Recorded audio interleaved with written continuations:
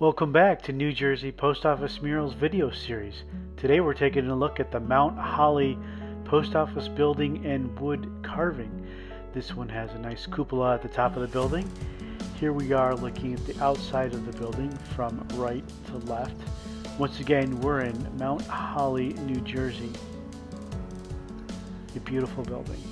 The cornerstone on this one is in the lower left corner of the building and this one is dated 1935. Neal A. Melick, Supervisor Engineer. Let's go ahead and take a look inside.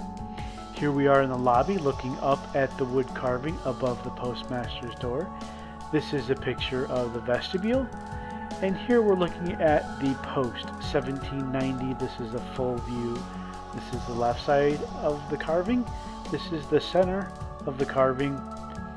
And now we're looking at the right side of the carving and the artist for this is Enid Bell, and it's dated 1937.